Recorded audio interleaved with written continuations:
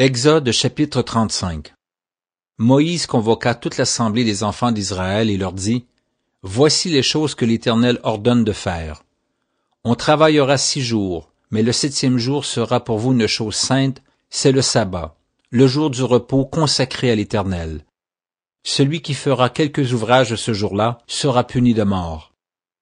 Vous n'allumerez point de feu dans aucune de vos demeures le jour du sabbat. Moïse parla à toute l'assemblée des enfants d'Israël et dit, Voici ce que l'Éternel a ordonné. Prenez sur ce qui vous appartient une offrande pour l'Éternel. Tout homme dont le cœur est bien disposé apportera en offrande à l'Éternel de l'or, de l'argent et de l'airain, des étoffes teintes en bleu, en pourpre, en cramoisi, du fin lin et du poil de chèvre, des peaux de bélier teintes en rouge et des peaux de dauphin, du bois d'acacia, de l'huile pour le chandelier, des aromates pour l'huile d'onction et pour le parfum odoriférant, des pierres d'onyx et d'autres pierres pour la garniture de l'éphod et du pectoral. Que tous ceux d'entre vous qui ont de l'habileté viennent et exécutent tout ce que l'Éternel a ordonné. Le tabernacle, sa tente et sa couverture, ses agrafes, ses planches, ses barres, ses colonnes et ses bases, l'arche et ses barres, le propitiatoire et le voile pour couvrir l'arche, la table et ses barres, et tous ses ustensiles, et les pains de proposition, le chandelier et ses ustensiles, ses lampes, et l'huile pour le chandelier, l'autel des parfums et ses barres, l'huile d'onction et le parfum odoriférant, et le rideau de la porte pour l'entrée du tabernacle, l'autel des holocaustes, sa grille d'airain, ses barres, et tous ses ustensiles, la cuve avec sa base, l'étoile du parvis, ses colonnes, ses bases et le rideau de la porte du parvis, les pieux du tabernacle, les pieux du parvis et leurs cordages, les vêtements d'office pour le service dans le sanctuaire, les vêtements sacrés pour le sacrificateur Aaron et les vêtements de ses fils pour les fonctions du sacerdoce. Toute l'assemblée des enfants d'Israël sortit de la présence de Moïse.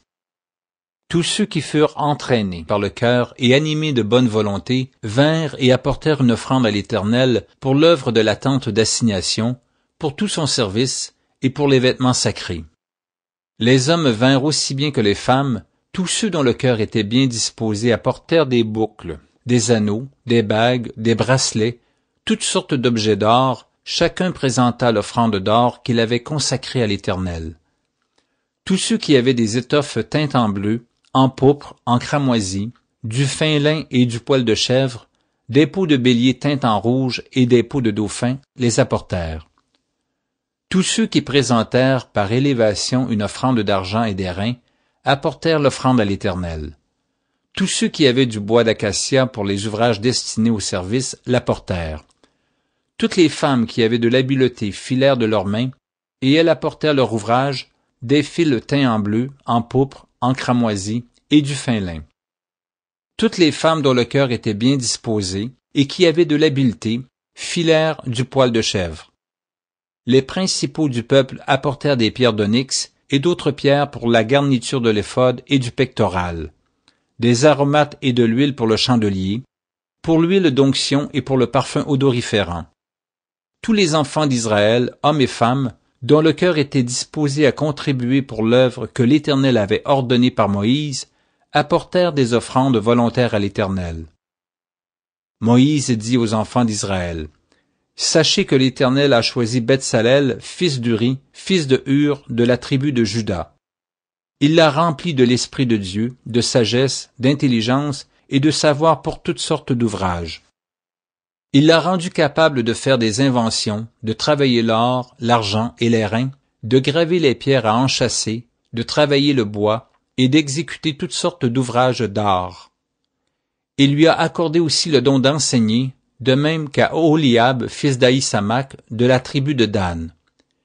Il les a remplis d'intelligence pour exécuter tous les ouvrages de sculpture et d'art, pour broder et tisser les étoffes teintes en bleu, en pourpre, en cramoisi et le fin lin, pour faire toute espèce de travaux et d'inventions.